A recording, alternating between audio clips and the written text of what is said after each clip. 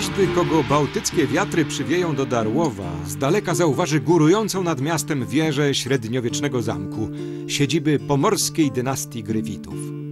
Bez wątpienia najbarwniejszą i najbardziej awanturniczą postacią tego rodu był książę Eryk I, koronowany na króla aż w trzech państwach.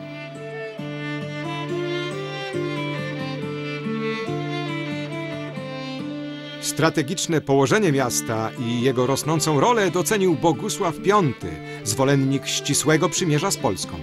Układ polityczny umocnił małżeństwem z Elżbietą Piastówną, córką króla Kazimierza Wielkiego.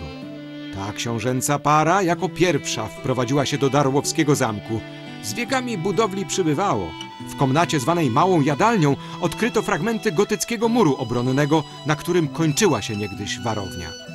W zamku książąt pomorskich w Darłowie turyści zapamiętują zwykle trzy osobliwości. Dwugłowe ciele, średniowieczną wygódkę zwaną Gdaniskiem i mumię kota, zamurowanego żywcem w zamku jako magiczna ofiara ku szczęściu przyszłych gospodarzy. Zastanawia, dlaczego amuletem przed nieszczęściem miał być właśnie kot. Może to echa wierzeń starożytnych Egipcjan, którzy uważali, że koty mają duszę i mistyczną moc.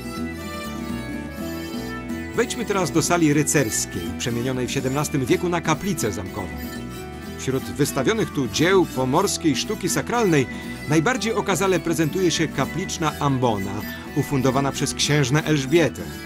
Fragmenty ukończonego przez nią słynnego ołtarza darłowskiego zobaczymy w Słupsku. Księżna Elżbieta była żoną Bogusława XIV, ostatniego z Gryfitów. Po śmierci męża wiodła samotne życie na zamku w Darłowie, zapisanym jej w kontrakcie ślubnym jako dożywocie. Ozdobą sypialni jest renesansowe łoże opatrzone wymownym napisem Zwyciężaj sen miłością.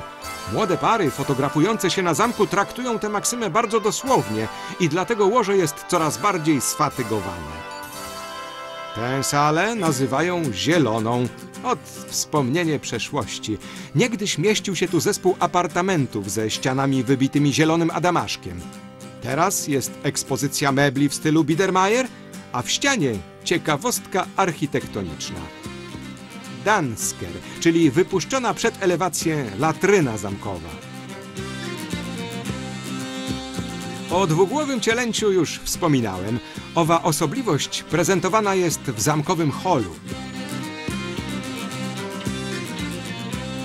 Za wielkim stołem gdańskim w reprezentacyjnej sali przyjęć zasiada dziś urzędnik stanu cywilnego udzielający ślubów.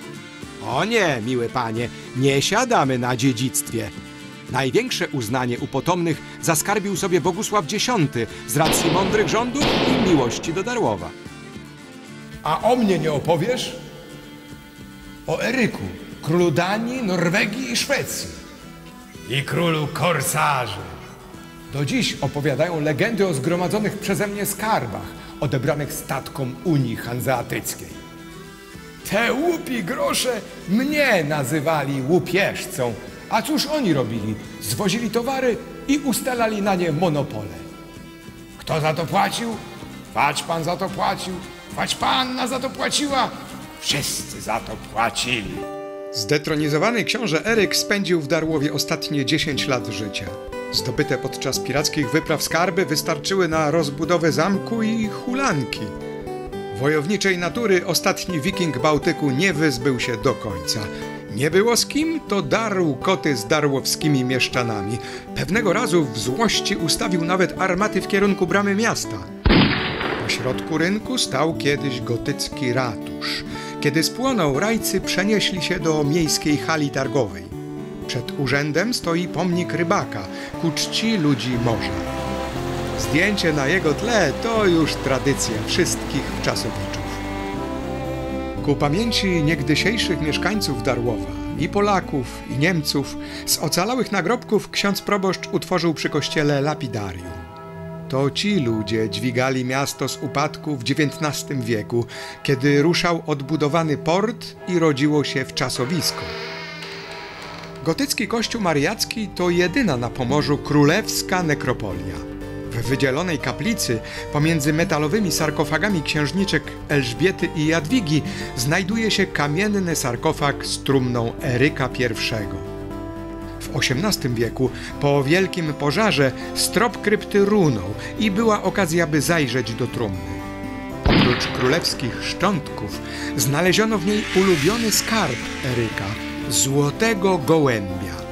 Figurkę przekazano wówczas na dwór w Berlinie, ale reszta skarbów króla korsarzy czeka na odkrywców.